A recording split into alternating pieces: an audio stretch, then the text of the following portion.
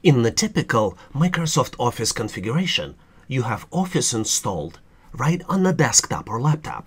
Your desktop or laptop could be Windows or Mac OS X, and the applications you have installed could be Word, Excel, or PowerPoint.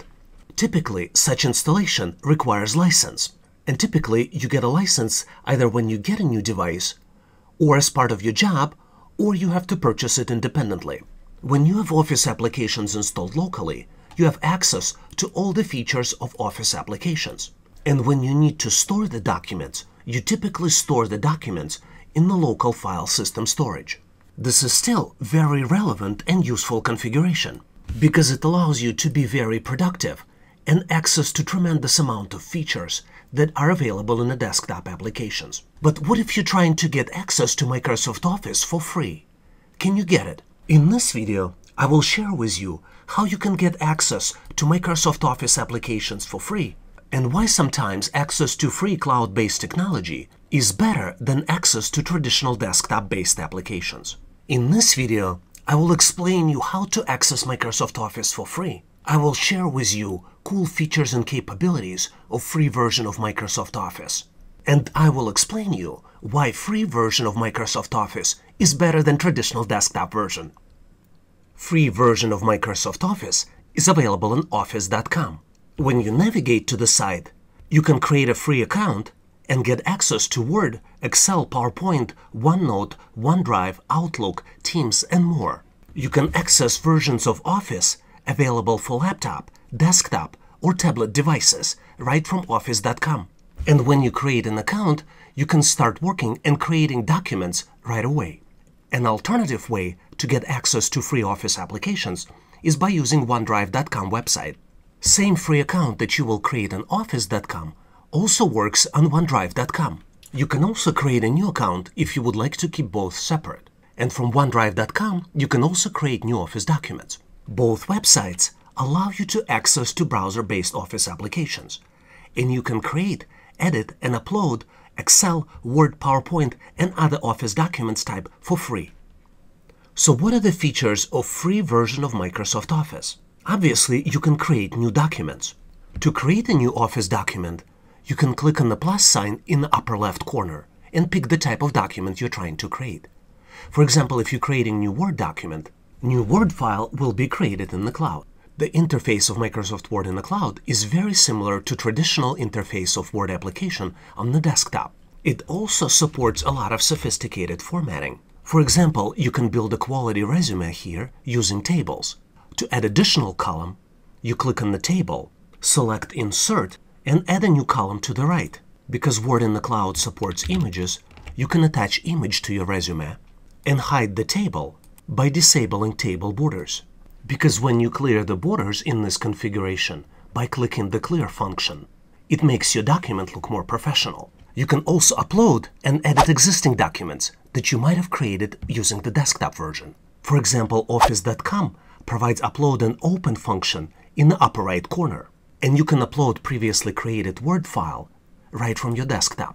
When file is open on Office.com platform, Office.com platform preserves all the formatting and allows you to keep the copy in the cloud, as well as save it as by downloading a copy, creating PDF, or downloading as in other formats.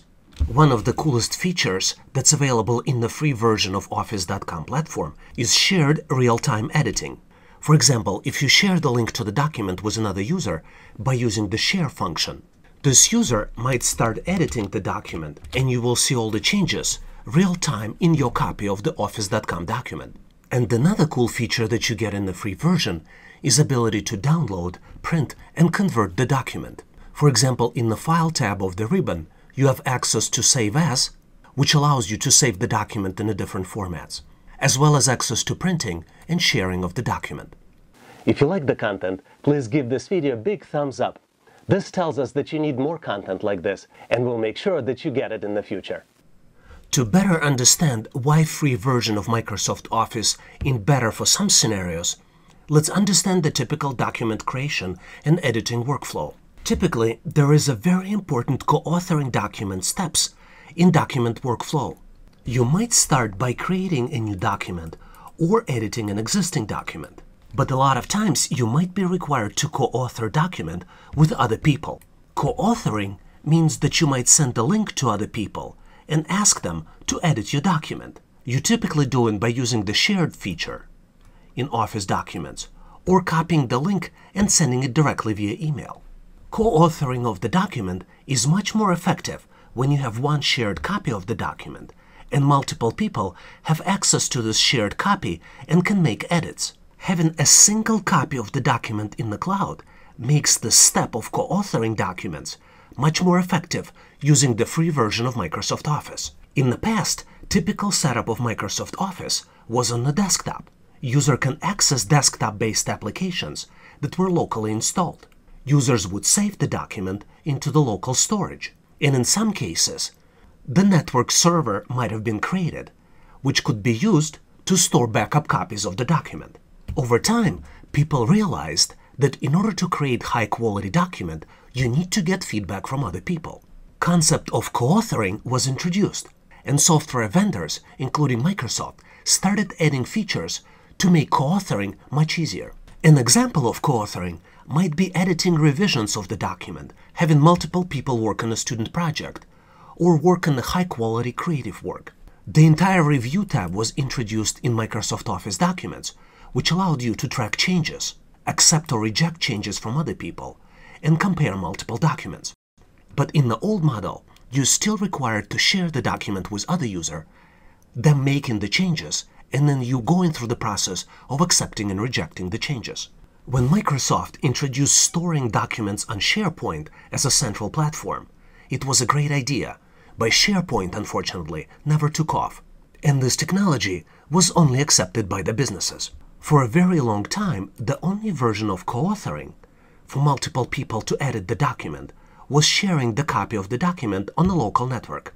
In this model, one user can create or edit documents, put them onto the shared local drive, notify another user, and then another user using similar desktop-based configuration would go ahead and edit, would review the changes, and provide suggestions for the documents that they were co-authoring. This was a great innovation back then, but the configuration required Office to be installed on user's device, device to be connected to the local network, and files shared over the network, either wired or wireless local network.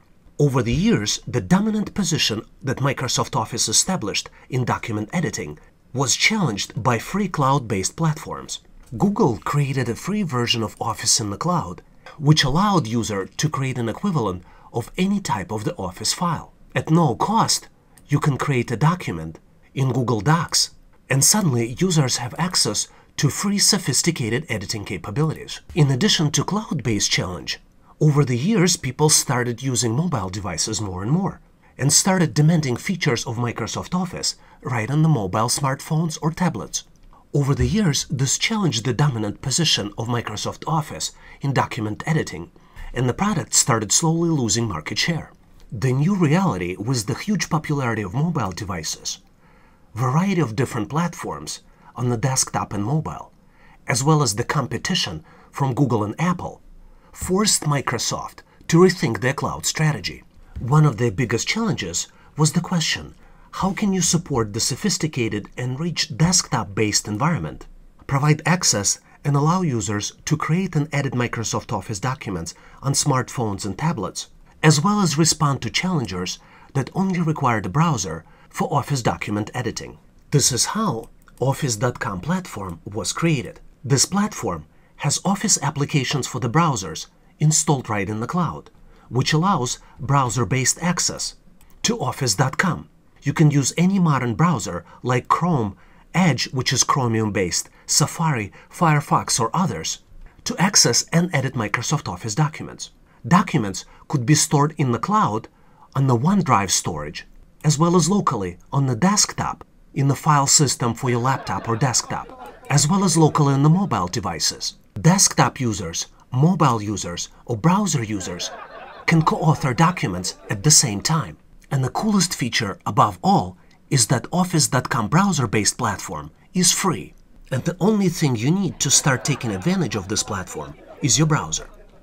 Please consider subscribing to this channel.